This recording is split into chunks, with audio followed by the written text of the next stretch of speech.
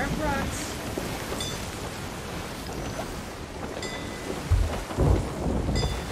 Maybe I'm gonna slam right back into the island if I'm not careful.